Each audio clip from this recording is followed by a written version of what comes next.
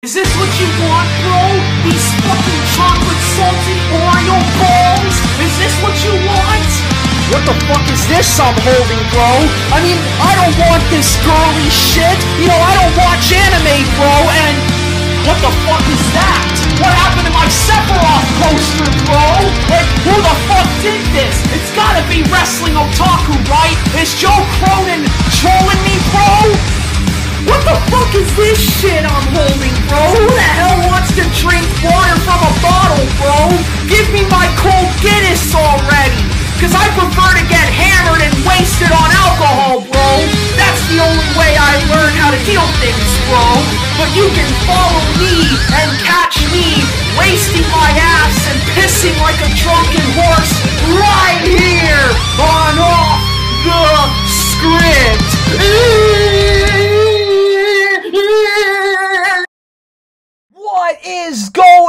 On, you fucking clowns? JD from New York here, and welcome to the most consistent, prolific, and spamming content right here on YouTube. This is off the script. Haven't had enough of the retribution clowns? Well, today, you goons are gonna get more of the retribution because that's all I can talk about on this show, bro. I mean, I haven't slept in a week ever since my Raw review. The retribution stable has been in my dreams every single night.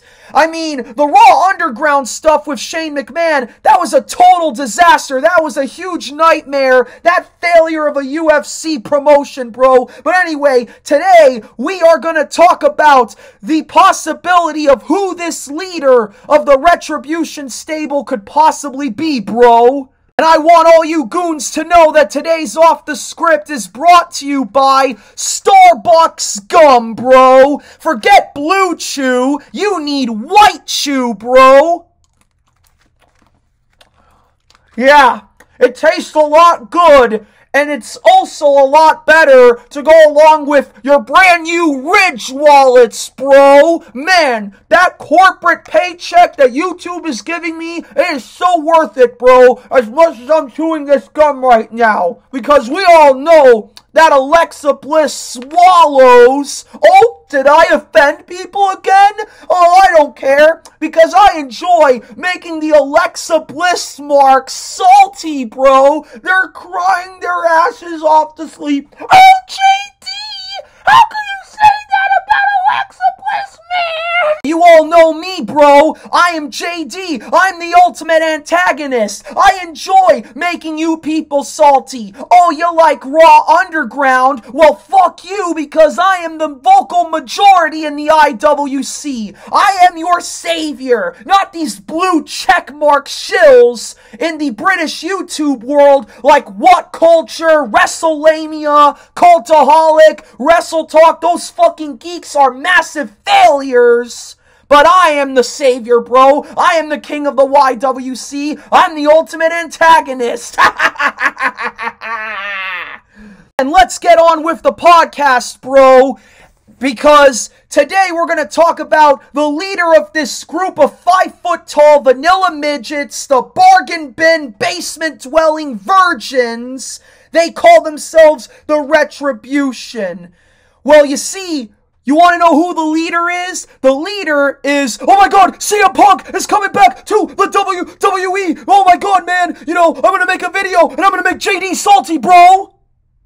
Sean's view ain't gonna do shit to me, bro. If anything, he's probably mad that I get more views just by spamming the same topic every single week on my channel because I can't come up with any new ideas, bro. Other than the fact that my beloved boy toy in NXT Adam Cole has degraded himself by fighting a, a, a D-level football player they call Pat McAfee, some random goon who has his own crappy podcast? I mean, does he get as much views as I do, bro? I don't think so, which is why he's a D-list celebrity. I'm the A-plus celebrity. I just don't know why Hollywood won't ever hire me, bro. I'd be perfect in the movies. I am telling you right now, bro, this fucking stable is going to fail. Even though I spent the last week talking about this stable because they're gonna be just as big as the NWO, bro. You know, I like the Retribution stable more than anything in my life at this point, like my family and stuff, you know. I, I pretty much love the retribution more than my grandmother, bro. I mean, my god, I can't wait to see what these guys are gonna do next. This failed NWO like faction. Yeah, WWE is woven into the fabric of society. Well, guess what? My society is right here in my basement. In fact, come here, cameraman, watch this. Watch this. You see this? This is what I love so much, bro. I mean, this, my Sephiroth post posters. Ain't got nothing on this, bro. All I need to do now is just, you know, Photoshop Bayley and Sasha Banks over them. And man, I just need to go get myself a box of tissues and we're gonna do it all night long, bro.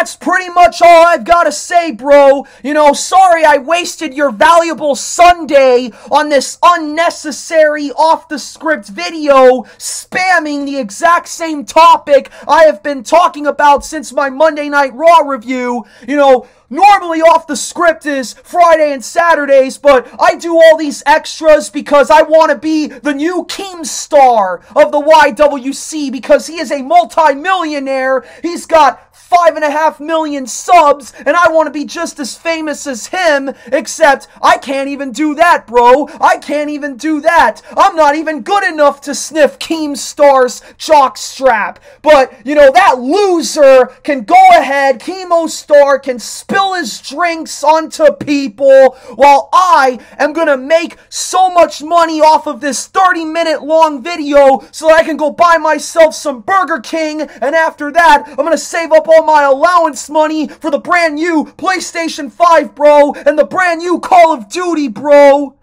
You know, I know you guys know me as the IWC savior, but I think from now on I'm gonna call myself the IWC retribution because that's pretty much all I ever talk about anymore besides Raw Underground. Man, Shane McMahon, what the hell is he thinking? The fact is, I don't want this shit, bro. I want my UFC, I want my pride, I want my K1. I don't want this crap in the WWE, bro. Oh, JD,